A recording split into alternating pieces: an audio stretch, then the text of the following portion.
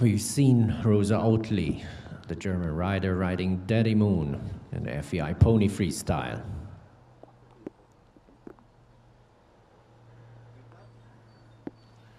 Rita Laura Knight's result riding Dano's Miracle.